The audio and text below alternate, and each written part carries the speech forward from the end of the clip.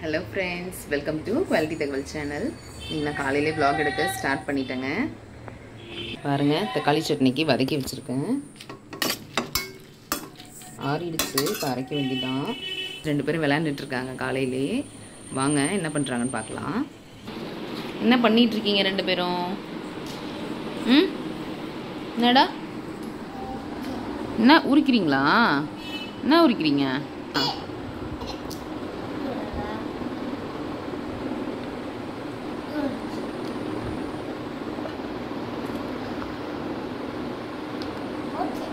போச்சா? எங்கே போச்சு?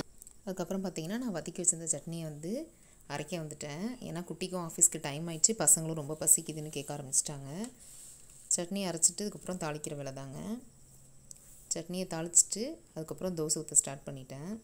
இதுலேயே சண்டை வேறு. ஃபஸ்ட்டு தோசை எனக்கு தான் வைக்கணும்னு ஜெய்குட்டி வந்து நின்றுட்டு இருந்தான் இருடா டேடிக்கு ஆஃபீஸ்க்கு டைம் ஆயிடுச்சு. டேடி கொடுத்துட்டு அதுக்கப்புறம் உனக்கு கொடுக்குறேன் அப்படின்னு சொல்லி சமாதானப்படுத்திட்டு அதுக்கப்புறம் தான் தோசை ஊற்றி எடுத்துகிட்டு போயிட்டு இருந்தேன். இப்போ பார்த்தீங்கன்னா மூணு பேருமே ஒன்றா உட்காந்து தான் சாப்பிட்டாங்க. பாப்பு பார்த்தீங்கன்னா அவங்க அப்பா கிட்ட ஊட்டிக்கல. அவங்க அண்ணன் கிட்ட தான் ஊட்டிக்கிட்டா.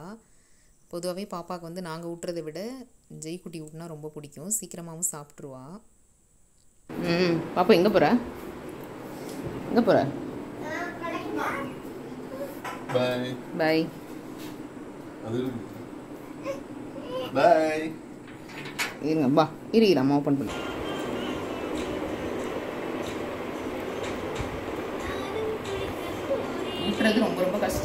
டேப் இல்லைன்னா சாப்பாடு வாங்கவே மாட்டா. பின்னாடியே அலையணும். அலைஞ்சா கூட ரெண்டு வயது தோசை கூட வாங்க மாட்டா. அதனால தான் சரி சாப்பிட்றப்ப மட்டும் டேப் கொடுக்கலாம்னு சொல்லிட்டு கொஞ்ச நேரம் ரைஸ் அது இதுன்னு வச்சு ஊட்டி விட்டுட்டு இருக்கேன். பாப்பாவுக்கு சாப்பாடுலாம் கொடுத்துட்டு ஜெய்குட்டி சாப்பிட்டாரு. ரெண்டு பேரும் விளையாண்டுட்டு இருந்தாங்க. சரி நம்ம மிஷினை லோட் பண்ணலாம் அப்படின்னு சொல்லிட்டு வந்து லோட் பண்ணிகிட்ருக்கேன் காலையிலே லோட் பண்ணால் தான் வெயில் வரதுக்கு முன்னாடி போய் மாடியில் போடலாம். நான் அன்னனை துணி அன்னன்னைக்கே லோட் பண்ணிடுவேங்க. அப்போ தான் துணி ரொம்ப சேராது. பசங்க துணி மட்டும் சேர்த்து வச்சு தனியாக போடுவேன். எங்கள் துணியோடு சேர்த்து போட மாட்டேன். இப்போ மிஷினை லோட் பண்ணிவிட்டு நேராக ரூமுக்கு போகிறேன் ஏன்னா பெட் ஸ்ப்ரெட்லாம் அப்படியே இருக்குது காலையில் எழுந்ததுலேருந்து எதுவுமே இன்னும் அரேஞ்ச் பண்ணவே இல்லை. அப்புறம் பில்லோ கவர்லாம் நேற்று தான் துவைக்க போட்டிருந்தேன். அதெல்லாம் துவைச்சி மடித்து வச்சுருந்தேன். சரி பில்லோக்கெலாம் கவர் போட்டுடலாம் அப்படின்னு சொல்லிட்டு எல்லாத்தையும் எடுத்து வச்சுட்டு இருந்தேன். இவங்க ரெண்டு பேரும் வந்து ஹெல்ப் பண்ணுறேன் அப்படின்னு சொல்லிட்டு கொஞ்ச நேரம் வந்து என்னோட சேர்ந்து அட்டகாசம் பண்ணிகிட்டு இருந்தாங்க. ஆனால் ஜெய்குட்டி சும்மா சொல்லக்கூடாதுங்க. சின்ன சின்ன ஹெல்ப்லாம் வந்து அவனாகவே ஓனாக வந்து செய்கிற மம்மி அப்படின்னு சொல்லிட்டு அவனாக இன்ட்ரெஸ்ட் எடுத்து செய்வான். சரி நானும் விட்டுருவேன். அவனுக்கு பிடிக்கிது அவன் செய்கிறான் அப்படின்னு சொல்லிட்டு வேண்டாம் அப்படின்னு சொல்ல மாட்டேன். வேண்டான்னு சொன்னால் சில டைம் கோச்சிட்டு போய் உட்காந்துப்பான் இன்றைக்கும் வந்து பெட் ஸ்ப்ரெட்லாம் கொஞ்சம் அரேஞ்ச் பண்ணிட்டு தான் போனான். அப்புறம் பார்த்தீங்கன்னா நான் பில்லோ கவர்லாம் போட்டுட்டு பெட் ஸ்ப்ரெட்லாம் அரேஞ்ச் பண்ணிவிட்டு அதுக்கப்புறம் டேபிள் அரேஞ்ச் பண்ண போயிட்டேன். இந்த மாதிரி ஏறி இறங்கி அரேஞ்ச் பண்ணுறதுலாம் கொஞ்சம் கஷ்டம். அப்போ மட்டும் ஜெய்குட்டி கூப்பிட்டுப்பேன். இப்போ டேபிளில் உள்ளதெல்லாம் அப்படி அப்படியே இருந்ததுங்க. அதெல்லாம் எடுத்து ட்ராவில் வச்சுட்டு டேபிளை கொஞ்சம் நீட்டாக வச்சாதான் எதுவும் எ- ஜாமான் சேராது அப்படின்னு சொல்லிட்டு அப்பப்போ டேபிள் வந்து க்ளீன் பண்ணிவிடுவேன் அவ்வளோதான் இப்போ ரூமில் ஒர்க் முடிஞ்சிருச்சு. டெய்லி க்ளீன் பண்ணுறதுனால ரொம்ப பெருசாக க்ளீன் பண்ணுற வேலைலாம் இல்லை. இப்போ ரூமு பாருங்கள் நீட்டாகிடுச்சு வெயில் தாங்க முடியல சரின்னு சொல்லிட்டு ஜூஸ் போடலாம். சாத்துக்குடி நிறைய இருந்தது ஜூஸ் போட போயிட்டேன்.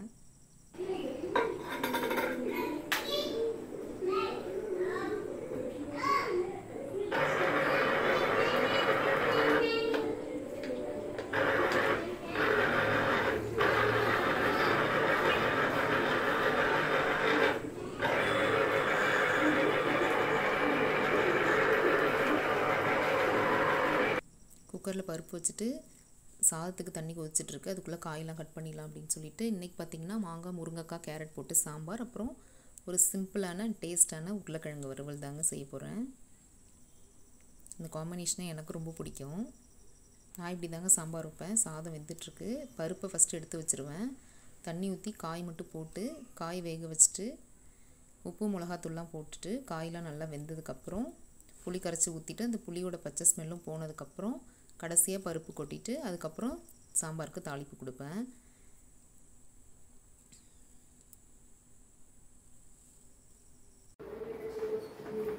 பாருங்க புளி ஊற போட்டாச்சு இருக்கட்டும். சாதம் வெந்துருச்சு. சாதம் கொஞ்சம் வச்சுக்கலாம்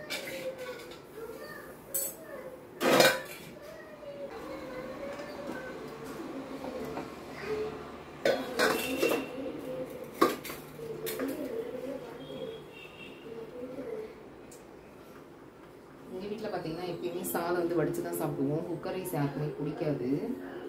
ரெண்டாவது இது வீட்டிலே விளையிற அரிசி அப்படிங்கிறதுனால குக்கரில் வச்சாலும் நல்லாவும் இருக்காது. ஒரு மாதிரி தண்ணி கொத்த மாதிரி இருக்கும்.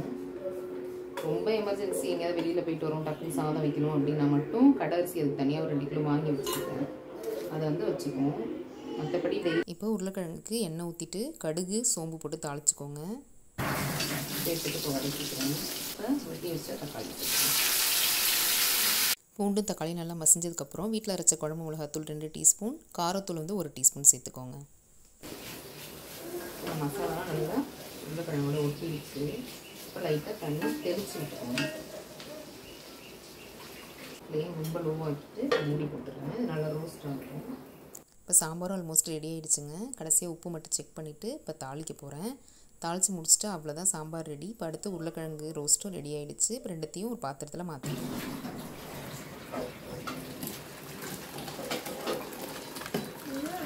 நான் கரெக்டாக சமைச்சு முடித்தேன் அதுக்குள்ளே பாப்பா குட்டியும் வந்துட்டா. அவளுக்கும் தூக்கம் வந்துருச்சு. ஏன்னா டைம் ஒன் ஓ கிளாக் கிட்ட ஆக போகுது. அதனால் அவளை தூங்க வைக்க போகணும். இன்றைக்கி லஞ்ச் மெனு பார்த்தீங்கன்னா நல்லா சுட சுட சாதம் கமகமன்னு வாசனையோட முருங்காய் மாங்காய் கேரட் போட்ட சாம்பார் அப்புறம் டேஸ்டான உருளைக்கிழங்கு ரோஸ்ட் பாருங்க இப்போ நானும் ஜெய்குட்டியும் சாப்பிட்றோம். டெய்லியாக அவங்க டேடி வந்து தான் சாப்பிடுவோம்?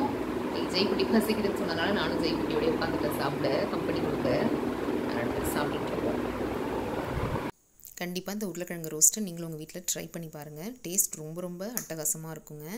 சாப்பிட்டு முடிச்சுட்டு நான் இப்போ கொஞ்சம் கிச்சனில் க்ளீனிங் ஒர்க் இருந்தது. அதுக்காக போயிட்டேன். போயிட்டு கொஞ்சம் க்ளீனிங்லாம் முடிச்சுட்டு அதுக்கப்புறம் ஜூஸ் குடிக்க போகிறேன் என்னோட வீடியோவை நான் இதோட முடிச்சுக்கிறேங்க. இந்த வீடியோ உங்கள் எல்லாருக்கும் கண்டிப்பாக பிடிச்சிருக்குன்னு நம்புகிறேன் பிடிச்சிருந்ததுன்னா லைக் பண்ணி ஷேர் பண்ணுங்கள் மறக்காமல் குவாலிட்டி தகவல் சேனலை சப்ஸ்கிரைப் பண்ணி வச்சுக்கோங்க. இன்னொரு இன்ட்ரெஸ்டிங்கான ப்ளாக் இல்லைனா இன்னொரு இன்ட்ரெஸ்டிங்கான வீடியோவோட உங்களை நான் சீக்கிரமாக மீட் பண்ணுறேன் அது வரைக்கும் பாய்